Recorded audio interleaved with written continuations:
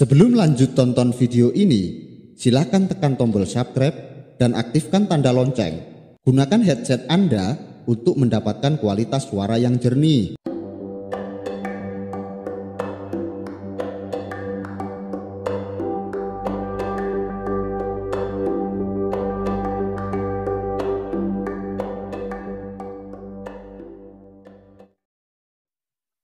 Empu Gajah Mada yang waktu itu telah menjabat sebagai Rakrian Patih Daha akhirnya dikukuhkan sebagai Rakrian Patih Amangkubumi pada tahun 1256 Saka atau 1334 Masehi atas jasa-jasanya.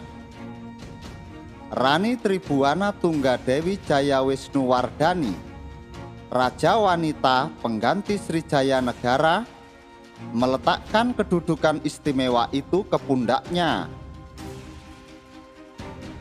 Pengukuhan Empu Gajah Mada sebagai Rakrian Patih Amangkubumi diiringi kejadian alam yang sangat luar biasa. Beberapa saat setelah pengucapan Sumpah Palapa, gempa bumi dahsyat terjadi di Pabanyu Pindah. Bumi Jawa mulai memberikan isyarat akan terjadi hal besar setelah itu. Ternyata pilihan Sang Rani Tribuana Tunggadewi tak salah. Di tangan Rakrian Patih Amangkubumi, Empu Gajah Mada, Majapahit berhasil mempersatukan Nusantara. Sebuah cita-cita yang lama diidam-idamkan oleh Prabu Dharma Wangsa, mertua Prabu Airlangga dari Kerajaan Medang dulu. Juga cita-cita dari Raja Kartanegara dari Kerajaan Singasari. Armada Majapahit dikerahkan untuk tujuan itu. Politik mempersatukan Nusantara dimulai dari wilayah barat. Pulau Swarna Bumi atau Sumatera menjadi sasaran pertama. Lantas merambah ke Semenanjung Malaka masuk ke Tanjung Pura atau Kalimantan. Diteruskan ke sebelah timur, Bali, Lombok, dan Burun. Tercatat, inilah wilayah yang berhasil dipersatukan Majapahit. 1. Suwarna Bumi atau Sumatera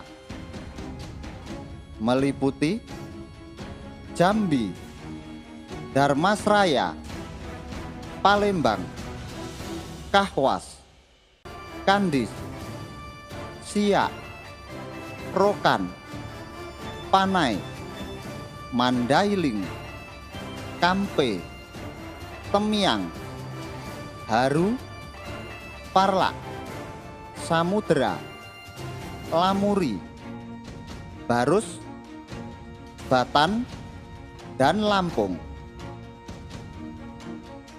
2. Tanjung Pura atau Kalimantan meliputi Katiang, Kapuas, Kota Lingga, Sampit, Kota Waringin, Lawai, Kandangan, Sambas, Singkawang, Sedu, Landa, Tirem, Barune, Sukadana, Seludung, Pasir, Solot, Sawaku, Tabalang, Barito, Malano, dan Tanjung Kutai. 3. Semenanjung Malaka meliputi Langkasuka, Pahang, Kelantan, Sayuang, Nagor, Muar, Paka, Tumase, Dungun, Jerai, Kedah, dan Kelang. 4. Nusantara bagian timur meliputi Bali, Bedahulu, Gurun, Lo Gajah, Sukun, Dumpo, Taliwong, Sapi, Gunung Api, Seram, Hutan Kadali, Sasak, Batayan, Luwuk, Buton, Makassar, Banggawi, Kunir, Salayar, Galian, Sumba, Muar, Solor, Bima, Wandan, Maluku, Wanin, Seran, dan Timur. Kegemilangan Majapahit membuat negara-negara di kawasan Asia Tenggara gentar.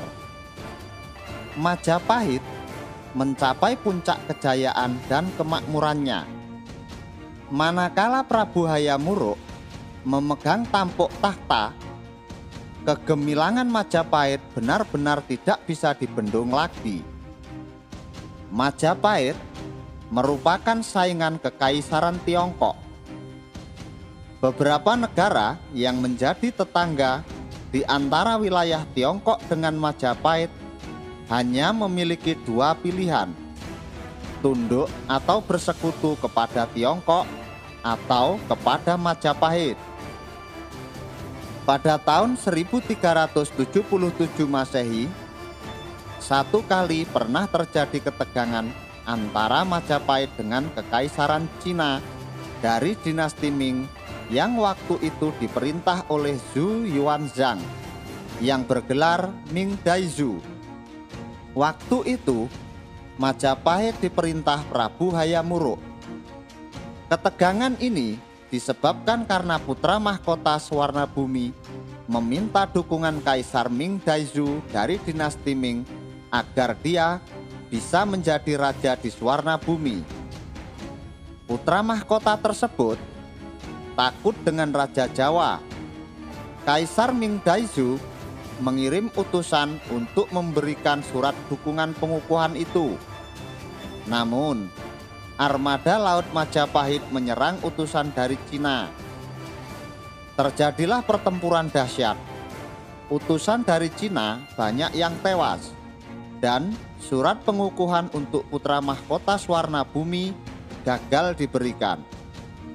Namun demikian, Kaisar Ming Daishu tidak memperpanjang masalah tersebut. Karena dia menyadari Suwarna Bumi memang wilayah sah Majapahit.